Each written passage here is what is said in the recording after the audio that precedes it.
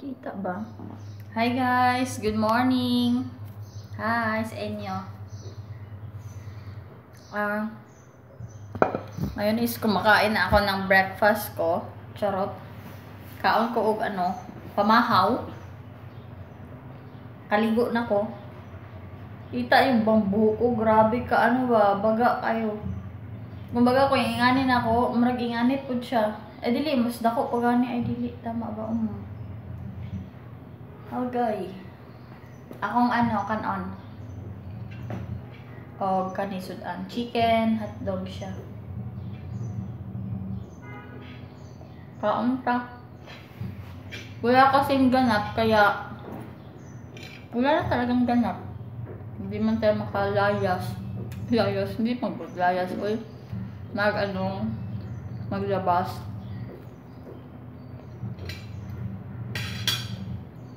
Ah guys, alam niyo na ba na meron akong anak? Sabi nakakaalam ha, meron akong anak.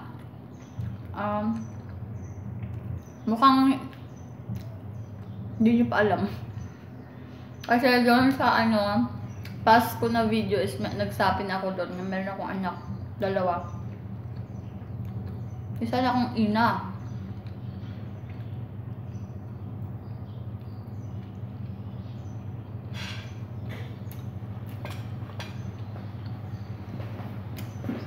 Hindi madaling maging ina.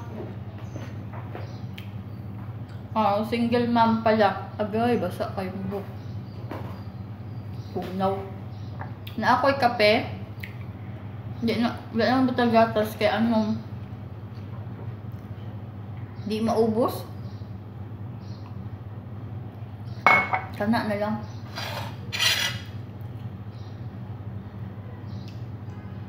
Naanad man ko sa una yung anak. Dito. Sa amo ba? Pero gayon naman ko gatas pero gabi ilang.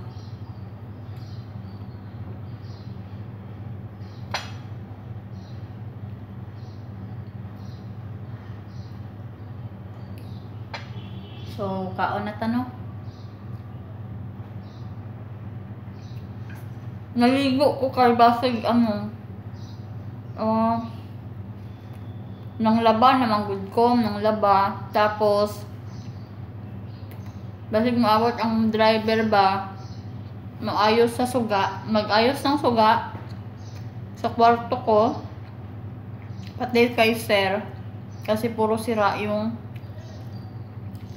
ilaw. Yung ilaw ba sira? Kaya ayun. I-ano siya, iayos. Ipapaayos. Para may sira at may grounded at sa loob kasi ang dalawang basta sa isang buwan magpapaayos talaga kami. Kasi ewan ko kakatakot na sa bahay nito bigla na lang mamatay yung ilaw. Basta. Grounded siguro no. Tumatayo kasi yung balahibo ko. Kaya ginanon ko. Takot man.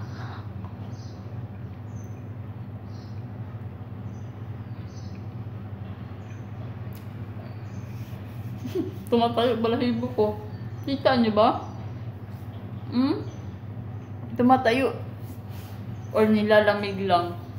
Hindi, takot ako ba? Takot ako sa buang manggod.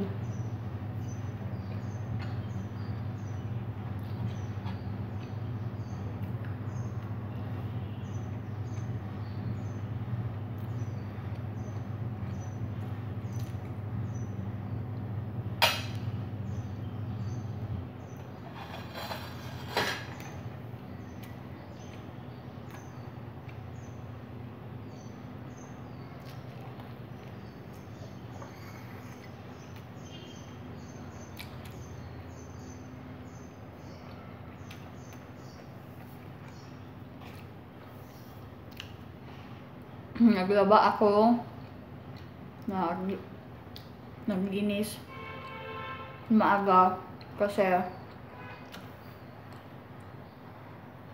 darating yung baka. Baka lang. Hindi ko pa alam. Hindi ako sure. Pero sinabi ko na sa kanya na sira yung mga ilaw. Paulit-ulit lang. Mm-mm. Kaya, maaga ako nagising. Hindi maaga naman talaga ako gumigising eh.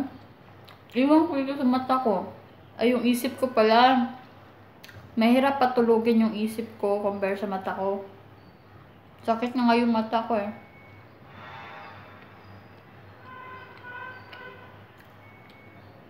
Tumunog na yung ano, washing. Tapos na maglaba. Isampay ko na lang yun siya kasi automatic man yung washing. Madali lang.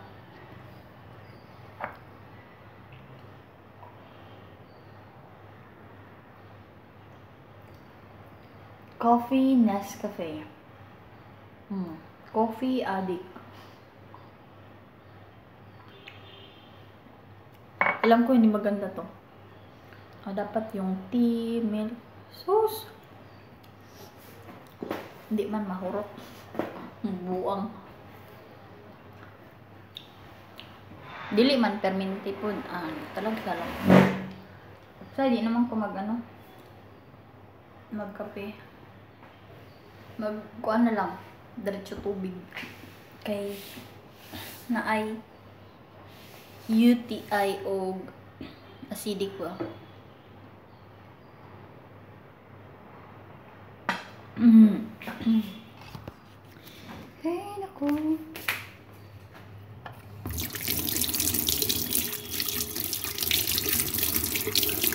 Ay, kunin natin yung ano. Wait lang kayo ha. Wait ko lang kayo. Ano sinabi ko? Wait ko lang kayo. Anong wait? Wait, wait niyo ako pala. Sorry, sorry. Meron akong pa-flower dito. Malaki na siya ba? Gusto ko na siyang ilipat sa malaking pot. Kasi yung bahay ng amo ko sulat talagang bulaklak. Kaya napabili ako. Sarili kong pera yung binili. Kasi baka ayaw niya ba. Pero gusto niya pala kasi nilabas ko man yun dun sa ano sa terrace or tawag doon sa labas talaga. Kasi dalawang araw na siguro yung bulaklak dun sa labas. Pinasok niya. Kita ko talaga pinasok niya yung bulaklak sa loob. Para may ano talaga po sir, may hindi ko alam, baka merong ah, side ng girl or side ng boy. Baliw talaga ako. Feel ko lang naman ha. Huwag nyo, huwag nyo nang i-ano. Si, ah, side ng side ng girl or side ng boy. Buang. Pag malaman talaga ni Suzuki, sasakalin talaga ako nun. Joke lang. May malay ko kay sir, hindi naman nagsasalita yun. Siguro, concern na kasi maliit kasi itong bulaklak. So, yun lang naman guys kasi mag-ano na ako. Ah, wait lang. Wait muna. Sige, wait lang. Yan guys, magsampay ako dito.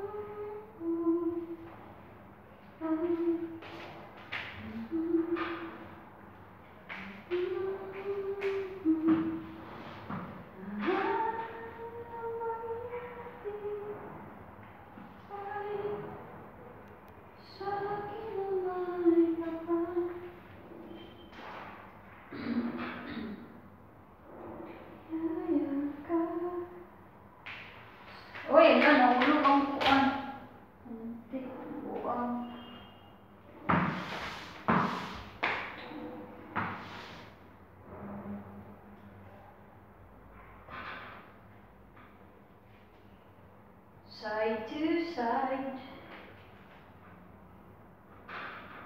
Side to side.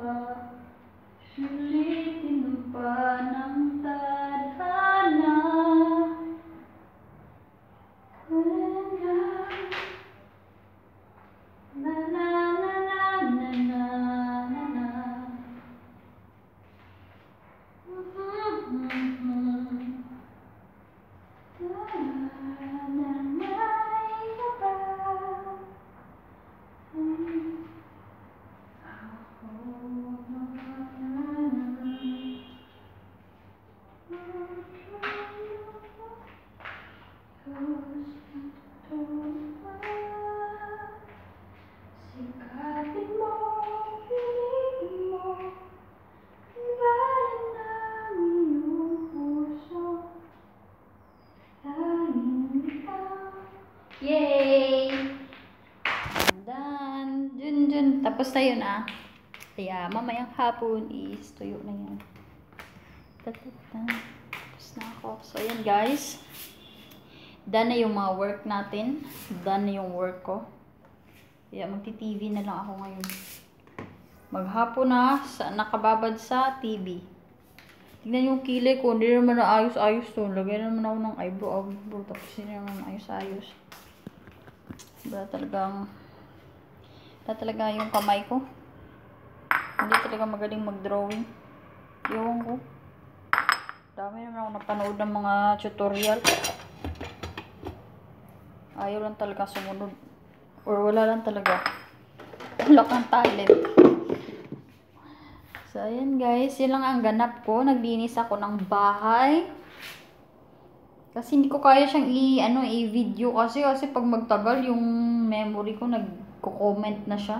Comment below na siya. Kaya hindi siya pwede. Sabi naman, cellphone is real. Kaya, no more choice. Konti lang yung, i-ano ko. Ah, naglinis, ah, ah, naligo, naglaba, nag ano ng damit, nagsampay. Yun, kaya tapos na. So, babay na.